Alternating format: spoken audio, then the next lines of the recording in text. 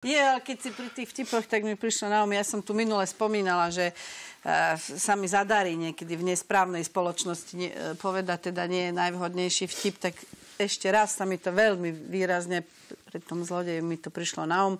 Uh, bola som náhodou s kamarátkou na svadbe v rómskej osade. Ona tam mala priateľku, tak jej narodeniny boli a sedeli sme za stolom, veľká to, oslava, veselo. Primáš chodil s, s úsličkami, každý, aby si povedal, že zahra, zaspieva.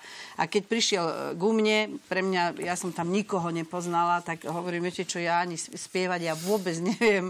A viem, to vám to tu pokazím, ja, ja nechcem spievať. Ale hovorím, tak, ale nie, nie tak, tak nejaký vtip môžem povedať, som povedala.